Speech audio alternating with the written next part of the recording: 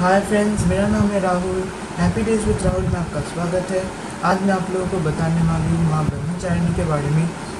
माता ब्रह्मचारिणी एक ऐसी देवी है जिसका कोई वाहन नहीं है। ये एक ऐसी देवी है जो, ये माता का वो रूप है जब माँ माता शैलपुत्री के बारे में जैसे हम लोगों ने सुना कि वो शैलराज हिमालय की पुत्री थी।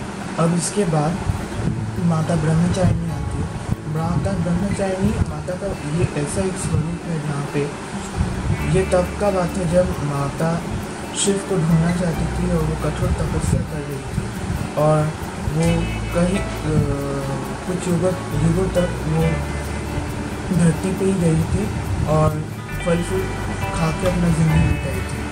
और और अंत तक वो कुछ ना खाए, पिए, वो शिव जी को किए और इसलिए उनको तपस्याचारिणी या माता ब्रह्मचारिणी के नाम से जाना है। माता ब्रह्मचारिणी को शक्कर शक्कर मिश्री का शक्कर या मिश्री का भोग चढ़ता है। और इस दिन हम लोगों को नारंगी रंग या ऑरेंज कलर का कपड़े पहनना चाहिए। इस लड़कियाँ ऑरेंज कलर की एक्सेसरीज पहन सकती है। इसके साथ हम लोगों को उस दिन चिमंती के फूल माता को अर्पण करने चाहिए। माता का जाप मंत्र डिस्क्रिप्शन बॉक्स में आप देख सकते हैं। और मा, माता को और ये ये पूजा विद्या के दिन की जाती है। और जैसे मैंने भूल गया था बोलना कि माता का प्रतिपदा तिथि पे होती है वैसे ही माँ माँ ब्रह्मचारिणी का।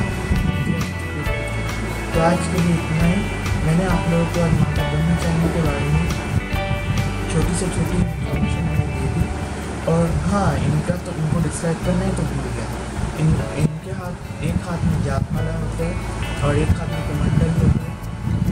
इनका कोई वाहन नहीं होता, जैसे मैंने बोला है। तो आशा करें आप माता ब्रह्मचारिणी को प्रसन्न कर पाए और माता आशा करें कि मैं आप लोगों को जो इन्फॉर्मेशन दिया ये आपके लिए हेल्पफुल हो। और अगर आपको ये आज का ये वीडियो अगर अच्छा लगा तो लाइक कीजिए लाइक कीजिए शेयर कीजिए और मेरे चैनल को सब्सक्राइब कीजिए।